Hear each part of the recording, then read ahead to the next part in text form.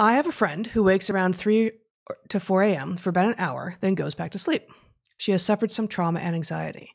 I am aware that some cultures may differ in sleep patterns. What could be going on here?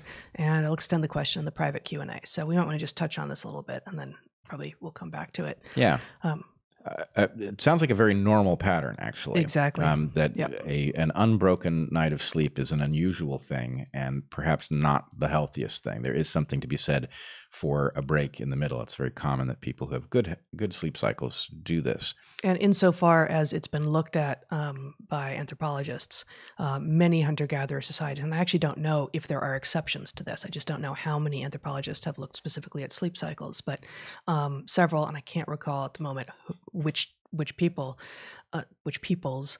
Uh, do exactly this. It's usually not quite so late uh, in the night, but they'll they'll you know sitting around a, sitting around a fire, Yep. um, go to bed, sleep for three or four hours, and then get up and actually do some some work or just conversation, which is a kind of, of work in many cases for an hour or two, and then go back to sleep for another three or four hours. And this also apparently is known from some era in second millennial Europe. I can't remember exactly when. I do not know my sort of medieval and Renaissance and Enlightenment European history very well. Um, but there's some evidence that um, many people were doing that then, whenever that exactly then was. Yep. Now I find on a related note that if I am sleeping and I wake up in the middle of the night and I make contact with the clock. Now this is obviously not a natural pattern, but if I figure out what time it is in the middle of the night and there's a bunch of hours left to sleep, having gone to sleep again, having seen the clock, I tend to wake up at exactly the right moment. Mm. So I'm at the right place in my sleep cycle and that probably has a huge positive impact on all sorts of things. Waking up Mhm. in the middle of your sleep cycle because your alarm clock suddenly decided you should be out of bed Yeah. is um, at least very stressful. Oh, Um, it's it's so damaging. So, um, that would have been perfectly possible to do under some, but not all circumstances in pre-industrial era, uh, where even if you were not sleeping outside, you could easily go outside and look at the moon, the position of Yep. the moon. And so this requires that you not only know what the phase of the moon is, but what that phase means about where the moon will be in the sky. And you can't do it as reliably uh, the closer to new it is.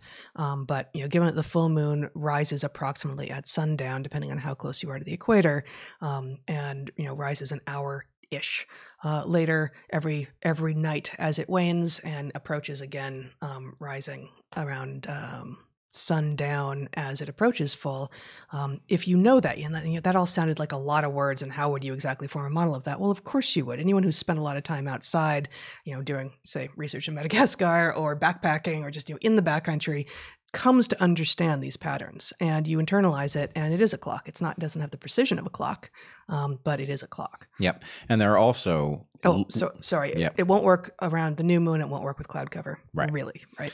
Um, there's also in every place on Earth local patterns which you couldn't globalize. You can't say this is the pattern, but there are things that you learn if you're there. like so the sounds of birds and insects and such yeah, when I was Yeah. working on bats, um, when I was radio tracking uh, active bats, you go out at night. You're up all night, and the sounds are very different um, at dawn and at dusk and in the middle of the night. And yeah. you know, you would have some idea how many uh, hours had passed based Yeah. on on what you were hearing. And then, Well, like I mean, like in every place that I've been in the tropics, uh, where you know I'm particularly attuned to the frog calls. Um, that you know, while I have focused on the diurnal frogs, the nocturnal frogs are much more common. But two in the morning, there's very little frog call. The the so-called nocturnal frogs tend to start calling um, around dusk.